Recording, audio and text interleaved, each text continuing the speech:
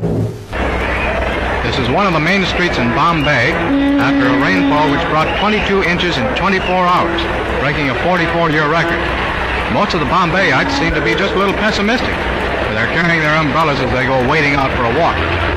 Foot washing, you know, ordinarily is quite a ceremony in the Orient, but it's just a picnic today. The flood has pretty well halted Bombay transportation, but not entirely. There's a team of oxen taking a turn around the block, making fast time. And will you look at what's in tow?